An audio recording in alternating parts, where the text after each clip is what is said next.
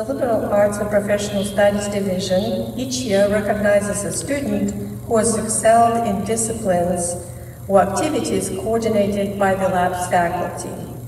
This year, the award goes to Jade Gatewood, a student who found her strength when she changed her major.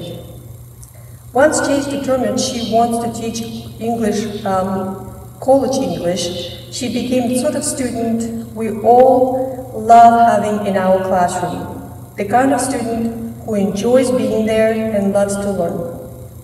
She welcomes constructive criticism and approaches her work thoughtfully. Though she is graduating from HCC now, she is already continuing her education at the University of Southern Indiana. Good luck, Jade.